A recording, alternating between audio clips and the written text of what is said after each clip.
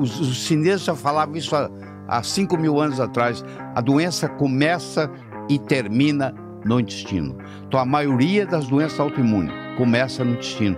Como ninguém trata o intestino e vai no dermatologista, o dermatologista não tem condição, porque ele não entende da parte do intestino. Você entendeu?